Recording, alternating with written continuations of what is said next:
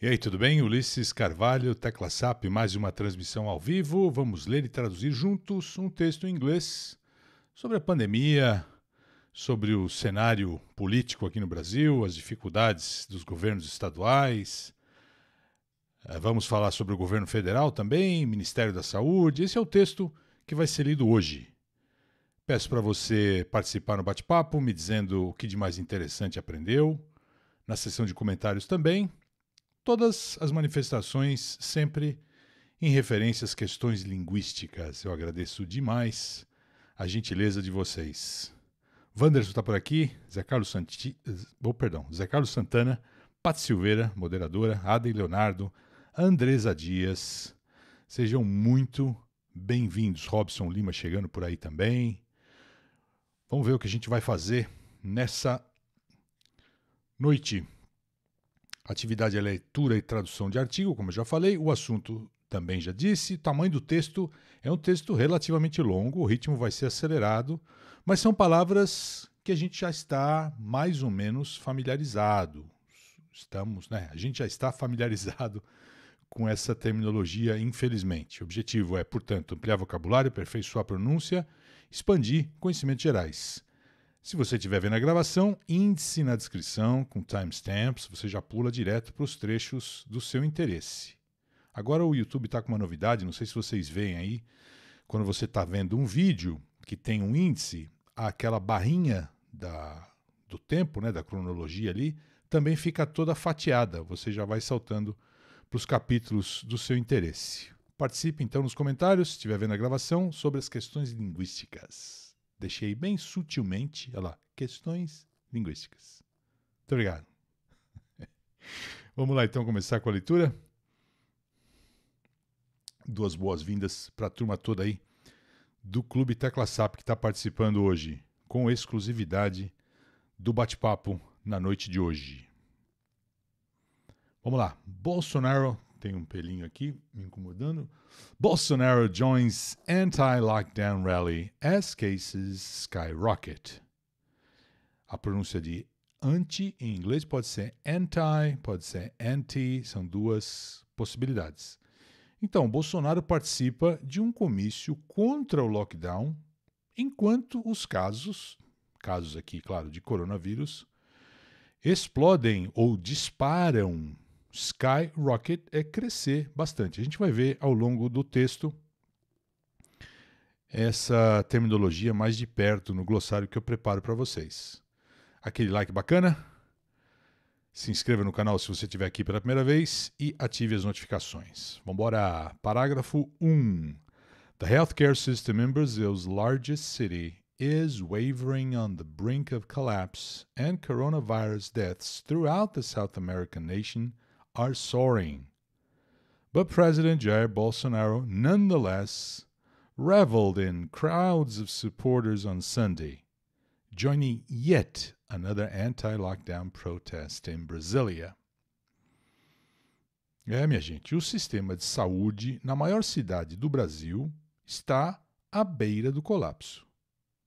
Tá naquela, vai entrar em colapso ou não vai? Wavering é tremendo, balançando. On the brink of à beira, à beira de, à beira de um colapso. E as mortes por conta do coronavírus em todo o país sul-americano disparam, estão crescendo vertiginosamente. Mas o presidente Jair Bolsonaro, hum, ainda assim, não obstante, se refastelou, se deliciou, né, se divertiu na multidão de, de correligionários no domingo participando de mais um protesto contra o lockdown lá em Brasília. É isso que está dizendo o texto, senhoras e senhores. Quais foram as palavras que vocês não conheciam? Por favor, o que, que de mais interessante vocês aprenderam aí? Por gentileza. Waiver, waiver. É a mesma pronúncia de waiver que tem com i. São palavras homófonas, que é uma isenção, né? um waiver uma dispensa. Aqui não, aqui é waiver no sentido de oscilar, balançar também. Então a cidade de São Paulo, o sistema de saúde aqui do município, eu sou de São Paulo, né? Falo de São Paulo capital. Está à beira do colapso, está balançando. on the brink. Brink é a beiradinha do abismo. E o Zé Carlos está dizendo o quê? Que skyrocket, skyrocket reminds me of the expression rise through the ranks, which I once learned here. É, não, acho que. É, não, acho que não tem relação direta, mas se ajudou a lembrar, tá valendo. Waver, uh, Aden não conhecia. On the brink of. São duas coisas, viu, Aden? Waver é um, um, verbo, né? E on the brink of são duas coisas separadas, mas tá valendo, tá aprendendo. E nonetheless é no entanto ali, ó. Ainda não tá. É uma maneira um pouco mais formal, né, de você dizer no entanto. Ou mas, entretanto, enfim. E throughout, já vimos outro dia também, preposição em todo o país, né? Throughout the country. E sore, sore, é a mesma pronúncia da palavra que quer dizer uma ferida, né? uma, uma dor, assim. Sore, S-O-R-E. É a mesma pronúncia aqui, sore, mas aqui é crescer rápido, ou então voar muito alto. Também você pode falar de um animal, como a águia, por exemplo mas aqui é no sentido figurado de crescer e crescer bastante, crescer rápido. Olha a turma toda aí participando. Eliane chegou, Iva de Passos também. Sejam bem-vindos todos. Nonetheless, como eu falei agora há pouco, to revel, ou então to revel in, que é divertir-se, deleitar-se, é ter prazer, né? Estava lá feliz da vida entre os seus apoiadores. E Lockdown, vídeo aqui no canal, vai aparecer link aqui no card e também na descrição do vídeo. Toda referência que eu fizer é material complementar. As uh, informações, os links vão estar na descrição do vídeo. Lockdown, que é o confinamento social para valer, né? uma proibição mais restrita. É um confinamento obrigatório quarentena, são recomenda isolamento, são recomendações e o lockdown é uma determinação, é uma imposição de restrição de movimento. É isso que é o lockdown. Mas tem mais informações no vídeo, com vários exemplos, várias aplicações. Né? Vambora, parágrafo 2. With Brazil still approaching its peak of cases, cases Sao Paulo's mayor warned that the health system could be overwhelmed very soon if residents don't follow social distancing guidelines. Com o Brasil é, ainda chegando ao pico né, no número de casos, o prefeito de São Paulo alertou que o sistema de saúde poderia entrar em colapso, to be overwhelmed, ou seja, ser inundado. É, muito em breve, se os moradores da cidade não seguirem as orientações ou as recomendações de distanciamento social. Esse foi o alerta do prefeito de São Paulo. Overwhelmed, conheciam? Overwhelmed, ficar sobrecarregado, ficar à beira do colapso, como a gente já viu agora há pouco lá. As opções de tradução estão aí, a pronúncia. Mayor também já vimos em várias lives aqui, prefeito, prefeita. Social distancing também. E guideline, linha que guia, ou seja, uma diretriz, uma recomendação. Tudo bem, senhores? Tudo tranquilo? Parágrafo 3. The city is coming to the limit of options, Bruno Covas told journalist Sunday. Não sei como falariam covas, cavas. Acho que é covas seria o mais natural. Vamos lá, parágrafo 3 de novo. The city is coming to the limit of options, Bruno Covas told journalist Sunday, warning that 9 in 10 intensive care beds were full. We need to decide if we. Pardon, we need to decide if we want to test the limits or if we will be prudent and firmly maintain social isolation for the time needed so that the health system doesn't collapse. We're closer than we would like. Então, estão se esgotando as opções para a cidade. Disse o prefeito Bruno Covas aos jornalistas no domingo, alertando que 9 em cada 10 leitos de terapia intensiva estão ocupados. Precisamos decidir se queremos testar esse limite, ou esses limites, ou se seremos cautelosos, seremos prudentes e manteremos com firmeza o isolamento social durante o tempo necessário para que o sistema de saúde não entre em colapso. Estamos mais próximos do que gostaríamos, próximos desse colapso. Tudo bem, gente? Bed. Bed é cama, como a gente sabe, mas também leito, leito hospitalar. Atenção à pronúncia do S em isolation, isolation, isolamento é português, isolation é inglês, e a mesma coisa vale para a mesma coisa vale para close. Close, perto, próximo. Os sons desses S's são de S mesmo. Parágrafo 4. But there was, perdão, but there was a strikingly different message on display outside the president's offices in Brasilia, where Bolsonaro appeared among crowds protesting the country's lockdown measures on Sunday. Mas havia uma mensagem visivelmente diferente fora ali do, Pará, do Palácio da Alvorada, né? Como a gente sabe, o, o gabinete, os escritórios do presidente, a gente sabe, o Palácio da Alvorada ali em Brasília, onde o Bolsonaro apareceu entre manifestantes é, que protestavam contra as medidas de lockdown no país, isso no domingo, né? Tudo bem? Strikingly. Chegou o Jonas Pereira, welcome strikingly, visivelmente, notadamente, evidentemente, são opções de tradução para striking, que dá aquele, aquela coisa que é notória, evidente. Parágrafo 5. The populist leader who was. Oh, hoje está duro, hein?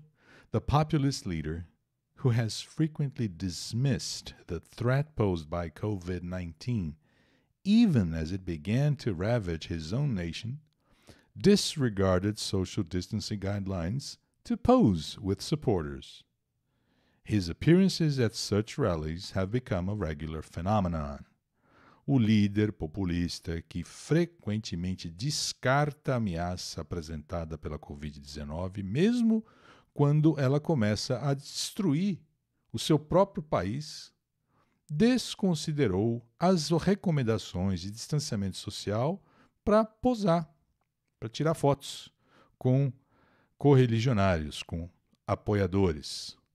As suas participações em comícios como esse, ou concentrações como essa, têm se tornado um fenômeno regular. Ravage. Ravage é isso mesmo. Chegar e acabar com tudo, destruir, arrasar. Ok, gente? E aqui uma curiosidade: nesse parágrafo, o mesmo verbo lá, to pose, aparece duas vezes, mas com dois significados diferentes. É o mesmo verbo com significados diferentes. Vamos ver aqui que eu coloquei é, o verbo pose duas vezes no, no, no glossário. Ah lá, to dismiss, dismiss o que, que é? Descartar, rejeitar, desprezar. E threat, threat, atenção, som do TH, threat, threat, ameaça. E aqui o primeiro caso do pose, que é pose é apresentar. Olha lá, present or constitute a problem, danger or difficulty. Ou seja, uma ameaça apresentada, né, trazida pela Covid-19. Pose. E co, COVID, COVID-19. COS, esse som do O é de co, COVID. E ravage, já vimos, atenção, a tônica é a primeira. E disregard, disregard, que é não dar bola, não prestar atenção, não levar em conta. Tranquilo? A turma participando ali, Aden dizendo que não conhecia Ravage, Strikingly. O que mais que vocês não conheciam? Participem, por favor, aí no bate-papo.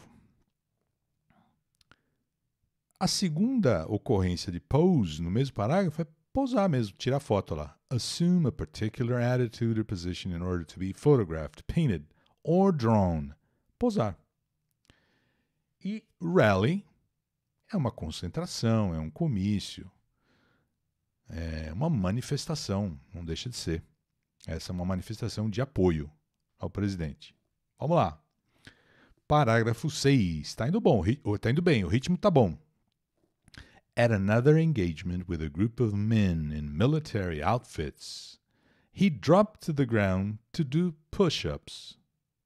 Above all, people want freedom, they want democracy, they want respect, he said in a video posted online.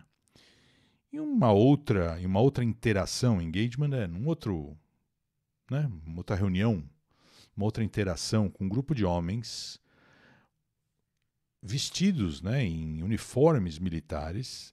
Ele caiu no chão, né, ele se, se jogou no chão para fazer a, a flexão de braço. Push-up é a flexão de braço. Disregard é ignorar no sentido de não levar em conta. Exato, Eliane, é isso mesmo. é que ignorar em português o sentido original é desconhecer, não é o de desprezar, como é ignore em inglês.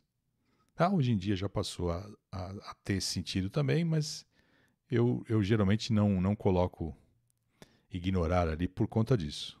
É questão de preferência. Então, push-up é a flexão de braço. Mais do que qualquer outra coisa, as pessoas querem liberdade, querem democracia, querem respeito, ele disse num vídeo postado nas redes sociais, postado online. Claro, gente, conhecia um outfit. É um traje, é um uniforme, outfit. E pu, push-up, push-up, flexão de braço. Claro, tranquilo, né? Eu, eu, eu, às vezes pego textos assim sobre a nossa conjuntura por uma razão pedagógica proposital. São temas com os quais estamos muito familiarizados, as palavras são corriqueiras, e aquilo que você não sabe, né? Você viu no noticiário, você, você, você deduz pelo contexto. Então o texto é longo, o texto é denso, o assunto é trágico, mas a gente consegue tocar rápido, né? Com, me digam aí se vocês concordam comigo ou não nesse sentido. O Wanderson ali dando feedback, o, a Silma também. R ravage, beautiful word, dreadful meaning. Indeed, Silma, that's right. Vamos lá, segundo capítulo desse nosso texto. Dire scenes in São Paulo. Dire, dire scenes. Vamos ver já já que significa dire. São cenas tristes, cenas horríveis em São Paulo. Dire é justamente isso, algo que aterroriza. Brazil is one of the few largest countries in the world where daily cases and death rates are still ascending. Brasil é um dos poucos grandes países do mundo em que os casos e a taxa de mortes, né, o índice de mortes diários, tem que, tem que concordar com casos, continuam crescendo. Então, um dos poucos grandes países do mundo em que os casos e as mortes diariamente vêm crescendo. Somos um dos poucos. Ali, dire, já falei. Triste, assustador, terrível, desesperador. Olha lá, o Jonas não conhecia push-up. E Aden está concordando com o comentário que eu fiz lá. Obrigado, Aden. E rate. Rate pode ser uma opção de coisa. Taxa, velocidade, ritmo. Mas é justamente isso. Death rate é o índice de mortes, né? o número de mortes. Parágrafo 8. The country has overtaken Spain and, and oh, meu Deus. The country has overtaken Spain and Italy to record the fourth most COVID 19 cases anywhere in the world, according to Johns Hopkins University, even though its outbreak is at a far earlier stage than countries in Europe or Asia. Its death toll has meanwhile topped 16,000. o país ultrapassou a Espanha e a Itália é, e agora está no quarto lugar né, em número de casos da Covid no mundo todo, segundo a Universidade Johns Hopkins. Muito embora o seu surto, né, o surto aqui no Brasil, esteja num estágio bem mais precoce do que os países na Europa e na Ásia. O número total de mortes, enquanto isso, já superou a casa dos 16 ou das 16 mil. É triste, né, gente? Overtake. Overtake é ultrapassar mesmo. No inglês britânico é ultrapassar na estrada, né? Quando um carro ultrapassa o outro. E aqui no sentido figurado, evidentemente. E que mais? Muito embora lá, even though it's outbreak. Outbreak surto, já vimos também. Eu devia estar tá passando aqui já para facilitar. E outbreak, surto. Isso é o mesmo dire do Dire Straits, exatamente. Dire Straits é mais no sentido de grana. Quando o cara tá na pior assim, sem grana. E death toll, death toll é uma expressão assim consagrada, né, para quando há casos de calamidade, acidentes, esses grandes desastres, total de mortos. E to top como verbo, to top é exceder, superar. Parágrafo 9. Vambora, vambora, vambora. The virus has dealt a blow to Sao Paulo, home to 12 million people whose hospitals are suffering a fate previously seen in similarly hard hit cities like Madrid, Lombardy, and New York.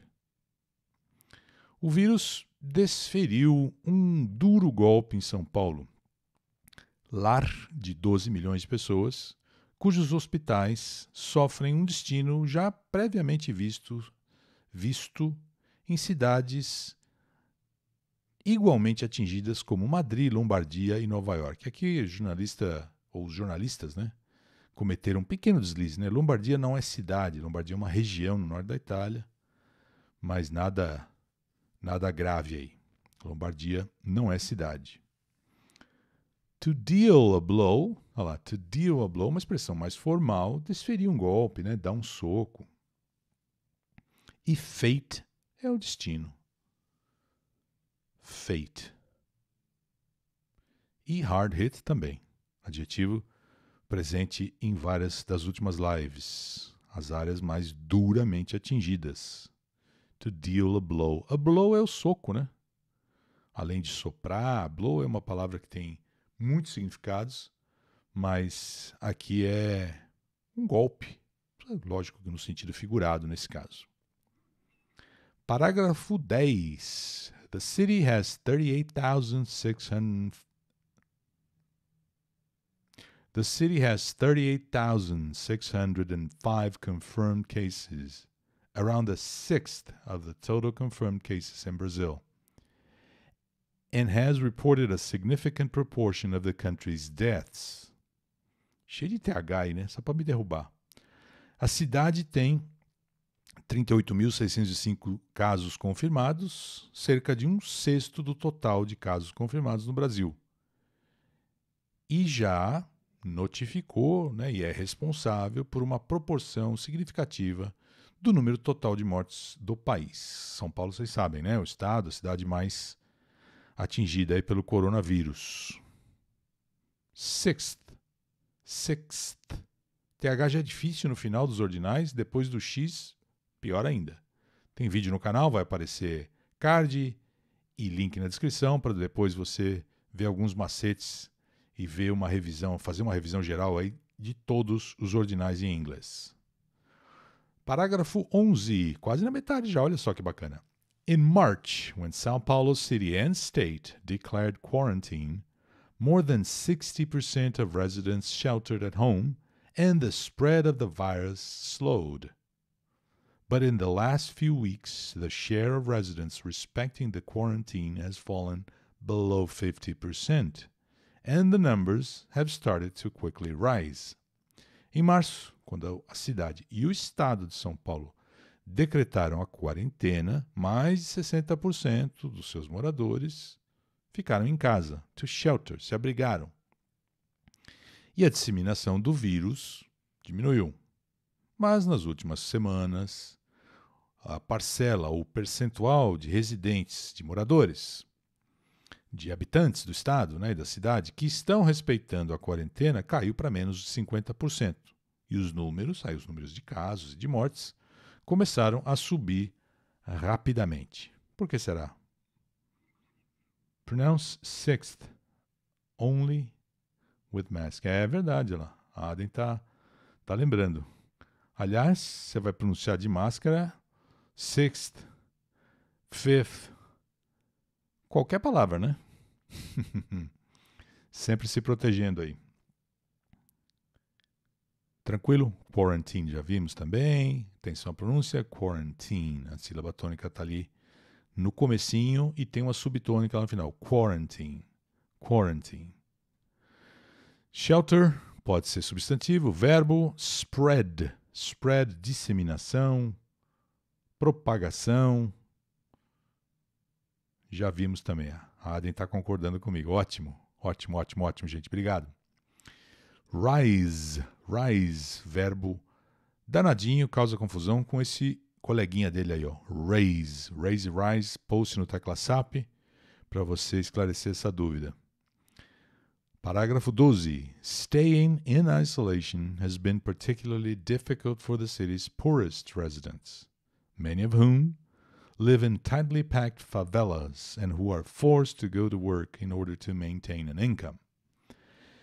Ficar em isolamento é especialmente difícil para os moradores mais pobres da cidade, muitos dos quais vivem em favelas adensadas, né? tightly packed, abarrotadas, e são obrigados a sair para trabalhar para ter uma fonte de renda.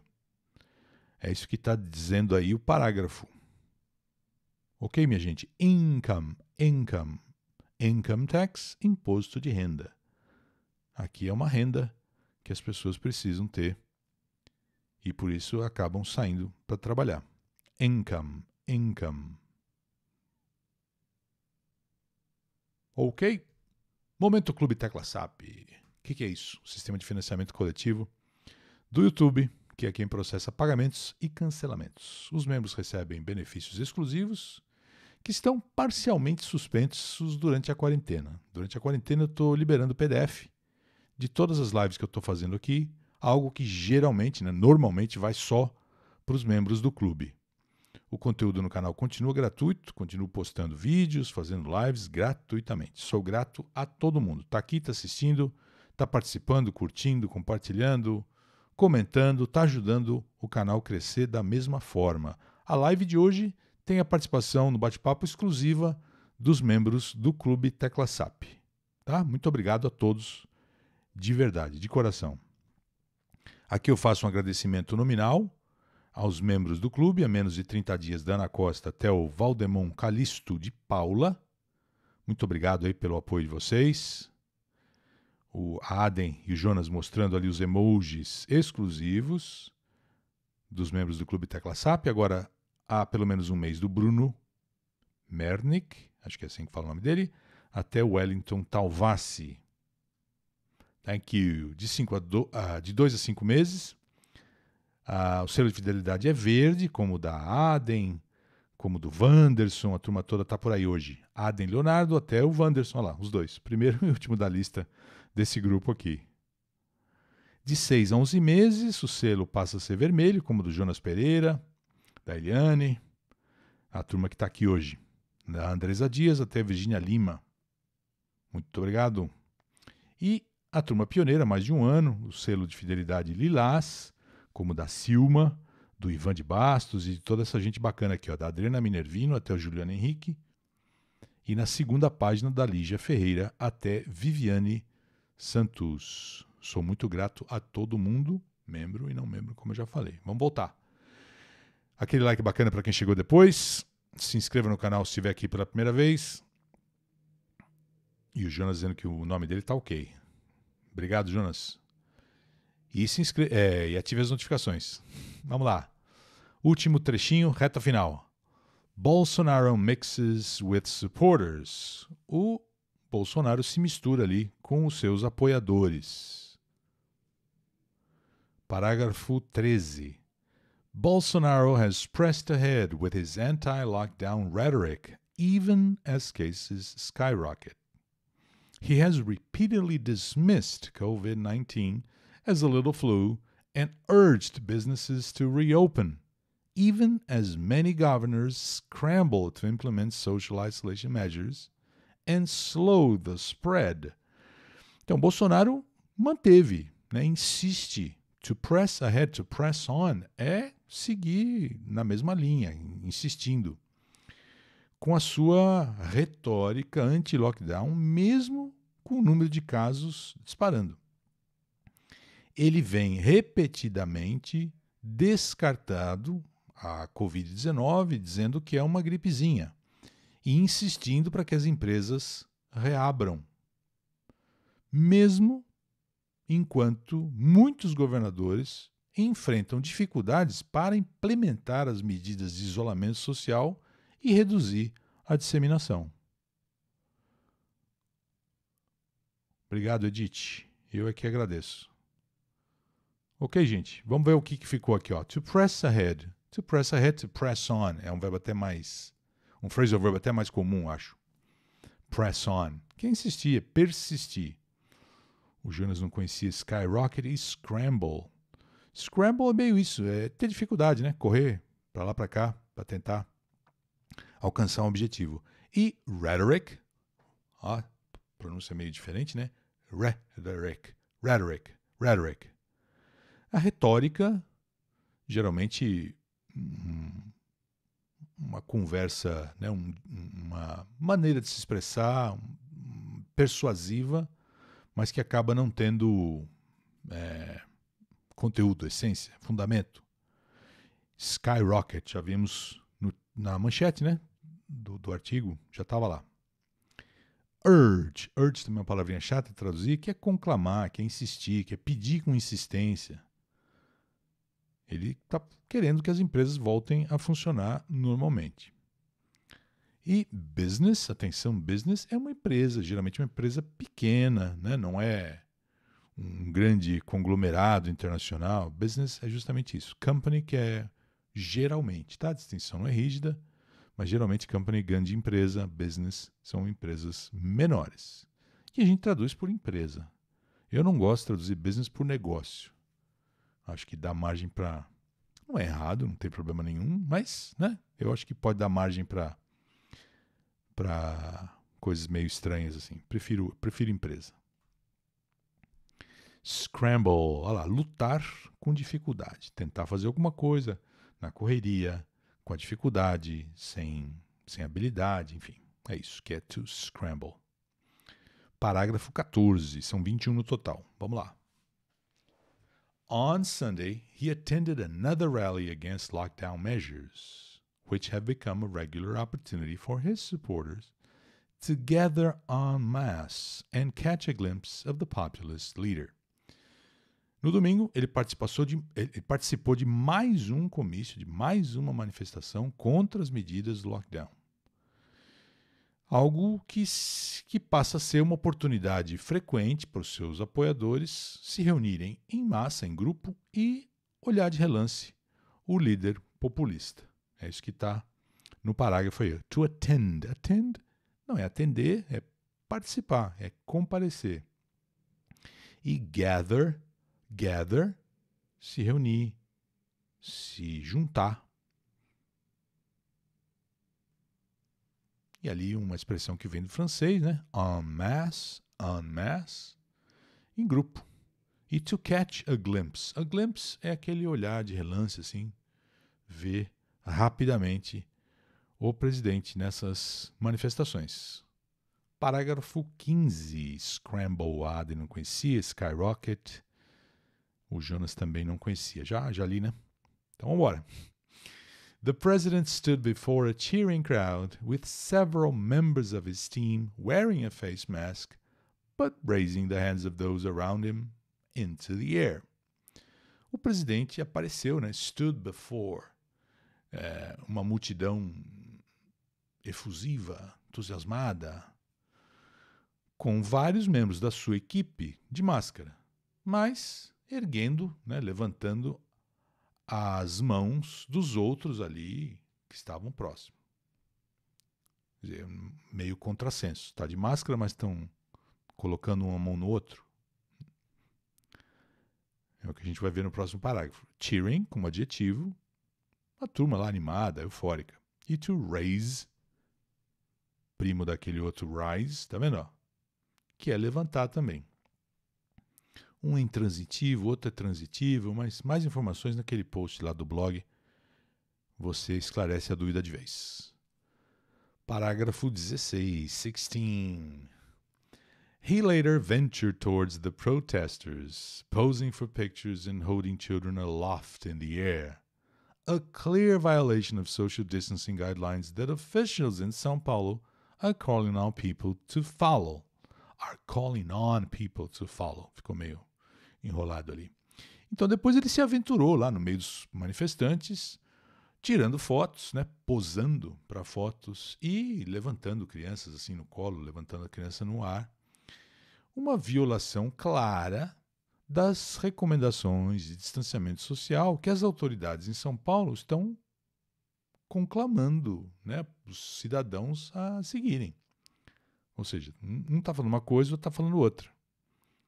Aloft é. É no alto, assim. Sabe quando pega, tipo, estilo Simba? Né? Pega e levanta assim? É isso.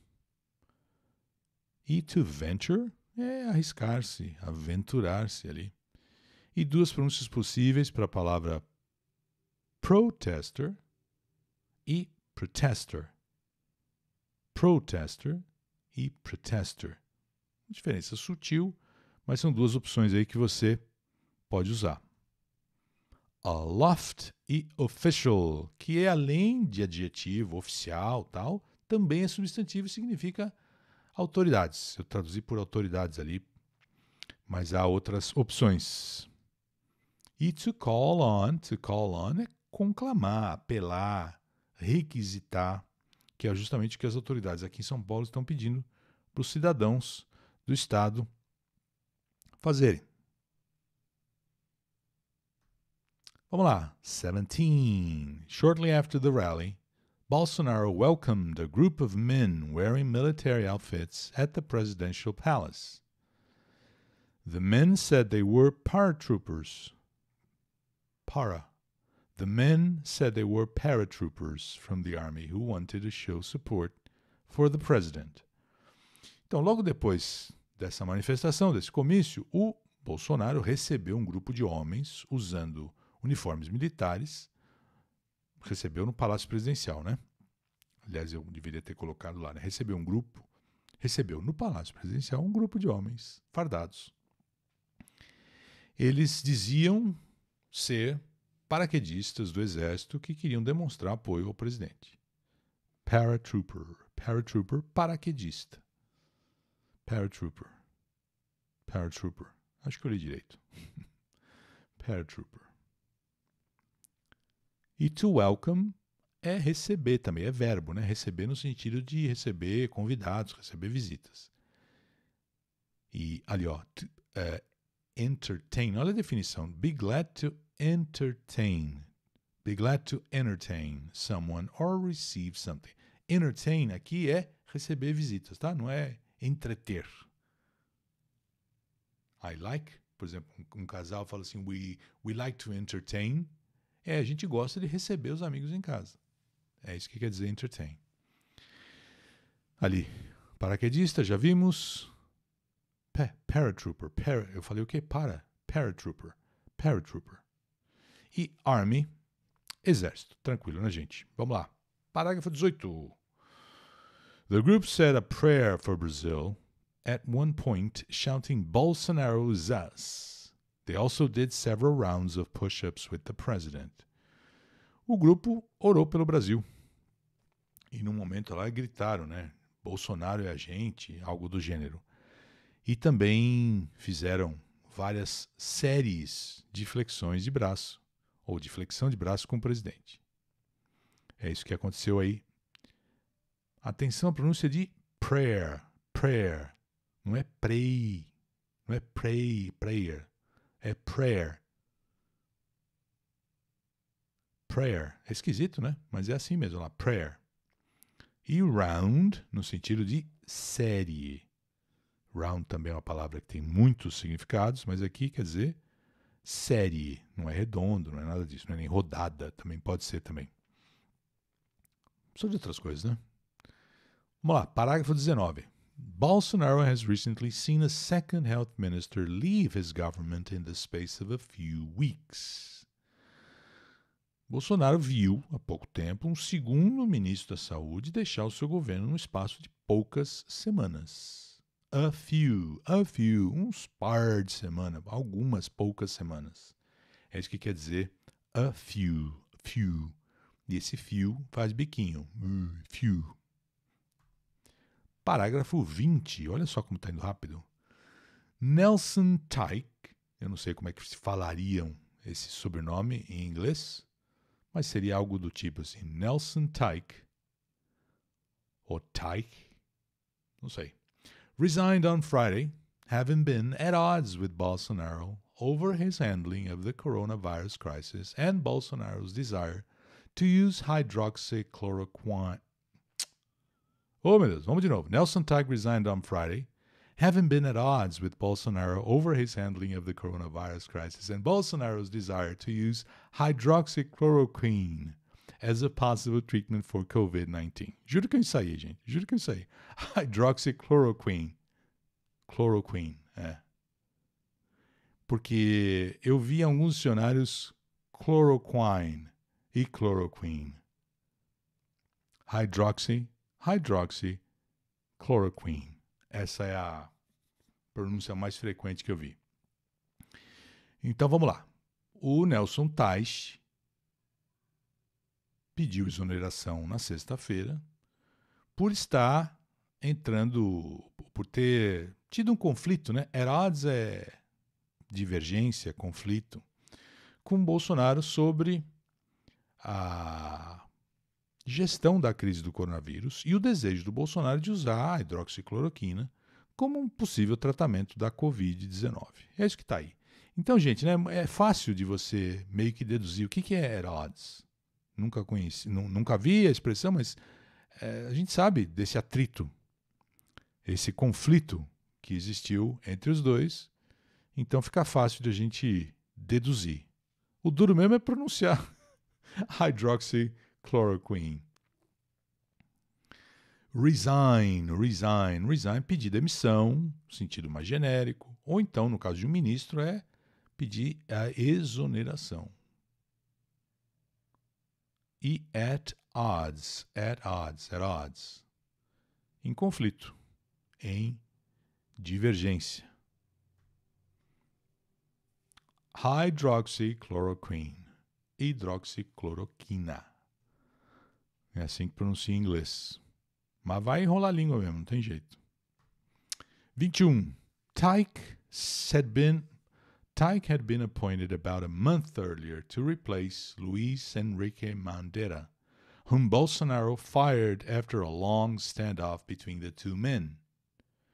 Bolsonaro had refused to support social distancing measures which Mandetta recommended. Então, Taishi foi nomeado, ou havia sido nomeado, cerca de um mês atrás, para substituir Luiz Henrique Mandetta, com quem, ou a quem Bolsonaro demitiu, depois de um impasse duradouro, né? um longo impasse entre os dois. O Bolsonaro tinha se recusado a adotar ou recomendar as medidas de distanciamento social recomendadas pelo Mandetta. Também coisa que a gente acompanhou, também coisa que a gente sabe. Então fica fácil de deduzir aí as palavras mais difíceis do texto. Appoint. Appoint não é apontar, né? Apontar é point, quando você vai apontar o dedo assim, point, que não é um negócio, um negócio bacana de fazer, mas enfim, é to point e apontar, é, perdão, e appoint quer dizer nomear. Nomear para um cargo né, de ministro, por exemplo. E replace, substituir.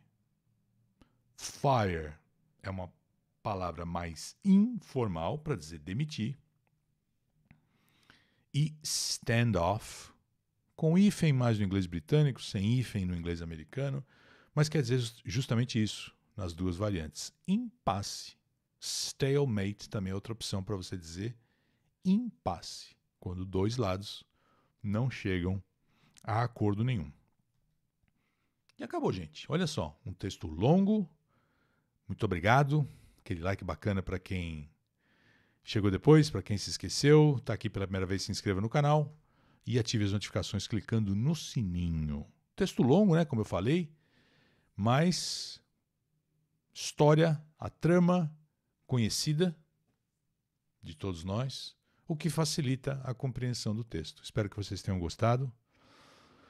Deixo aqui o espaço do bate-papo um pouquinho mais à disposição de vocês, para vocês me dizerem o que, que vocês gostaram, o que, que vocês aprenderam. A Aden já está me agradecendo. O Jonas está dizendo aqui ó, que não conhecia o standoff. A Aden também tinha dito que não conhecia. E o Jonas agora vai fazer um, uma retrospectiva aí, um, uma, uma lista das palavras que ele vai levar para a vida. Push up, strikingly, skyrocket, aloft, paratroopers, pa paratroopers e standoff. Standoff. Aden gostou da aula? Great class. Muito obrigado, muito obrigado. Que mais?